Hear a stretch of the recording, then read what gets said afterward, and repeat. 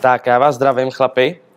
Eh, Tohleto video jsem se rozhodl natočit z toho důvodu, že mi často píšete o nějaké otázky a rádi byste na ně znali odpovědi.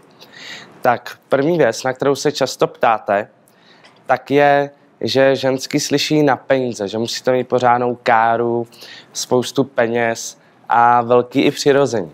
Já bych se tady rád zeptal obou slečen, co je na tom pravdy. Tak začneme třeba od tebe, Pavlo.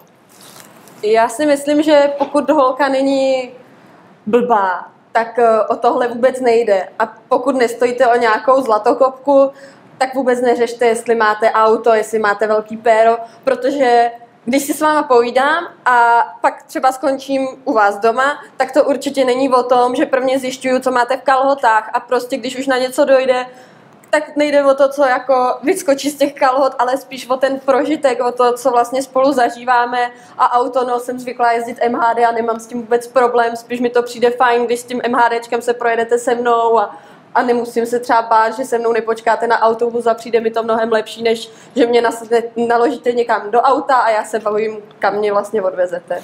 A než se dostaneme k tobě, ale je to pro tebe pohodlný, dojich na prostě toho bavoráka, teď bych tě vyzvedl, nasedla bys. Uh, imponovalo by ti to nějak, nebo by to nehrálo žádnou roli? Kdybych tě znala, kdybych se jako tě nebála, poznala bys znala mě. bych tě, už bychom byli párkrát na rande a že mě jako hodíš autem, tak ve výsledku je to pohodlný, ale je úplně jedno, jestli je to nějaká, nějaká favorit nebo, jako, nebo to bávo, ale myslím si, že to je o tom spíš, s kým v tom autě jedu, než v jakém autě jedu a jestli jedu autem nebo tramvají. Že opravdu je to spíš o tom, že si s tebou chci rozumět a mít si po cestě co říct. OK.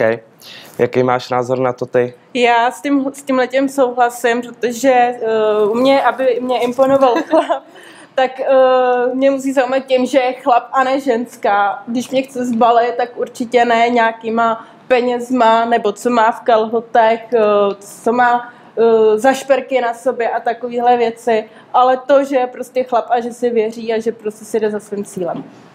Tak jste to slyšeli. Uh, druhá otázka, kterou mi často dáváte, je, jestli ženy jdou hodně po vzhledu, jestli chtějí takový ty metrosexuály, modílky, vyrysovanou postavu, opálený, voháknutý, nagelovaný. Jak to s váma je? Začneme třeba od tebe. Hele, uh, chlap musí být upravený, to jo, ale jako aby měl úplně vyrysovaný pro mě svaly, tak to mít určitě nemusí. Musí právě mít, jak jsem už o tom teď mluvila, by mít v sobě chlapa. Co to je mít v sobě chlapa pro tebe? Věřit si, oblíkat se teda nemusí mít značkový, pro mě to teda, některý ženský na to jsou, já teda ne, mě prostě uh, jde o tu povahu, než o to, co má, uh, co je vidět, o, o to mi nejde, ale co má uvnitř jako v duši. Jsi si jistá? Já si jsem jistá. OK. Jak to máš ty? Já to mám tak, že... Uh,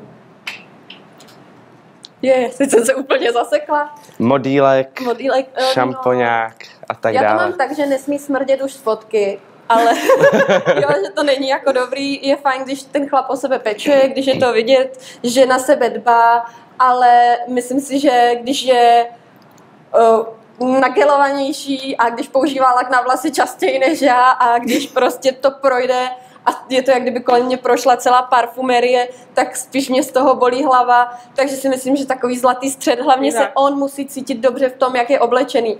Mm, nesmím mít strach si o něj opřít kolo, že si, že si ho ušpiním to kolo, ale na druhou stranu zase nesmím mít strach na něj šáhnout, protože šmanko té, to je prostě drahá košile, budu tam mít od tebe pudr nebo něco, takový zlatý střed. Zvolila si právě jako slova, který já jsem nemohla najít, ale mám stejný názor. Takže jste to slyšeli, chlapi. Já často říkám, že když máte nějakou image, nějaký svůj vnější obal, že prvotně byste se v tom měli cítit dobře. Protože to, jak se v tom cítíte, to z vás vyzařuje.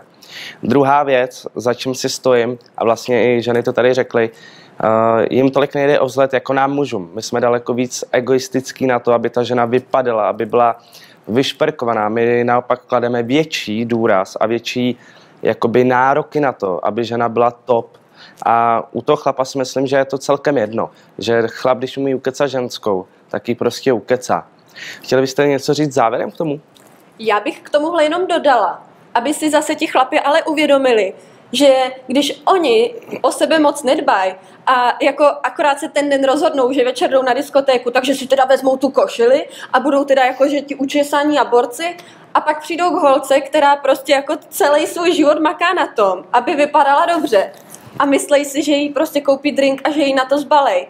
A pak se diví, že ona je odmítne, protože třeba jako jí není on dost dobrý, ale co se divíte, jako fakt my ženský nad sebou přemýšlíme pořád, abychom dobře vypadali pro vás a vy si myslíte, že jako za 10 minut to vyřešíte a že vám skočíme do náruče jenom na tom, že jste si zrovna řekli, že to jako půjde. Bohužel tak to chlapi chtějí většinou, že my jsme takový, že všechno bychom chtěli hned. ty čísla. Takový to, že když je chlap jako trojka, tak si většinou myslí třeba na holku, co je minimálně osmička. To je nesmysl, co s váma ta osmička asi tak bude dělat, že jo? Tak tak. Maximálně se nechá pozvat na dva drinky a číslo Čau. ti nedám, sorry, jako. OK, k tomu se dostaneme potom. Takže jste to slyšeli, já se s váma loučím zatím a mějte se hezky, užívejte žen a makejte na sobě. Čau. Mějte se. Čau.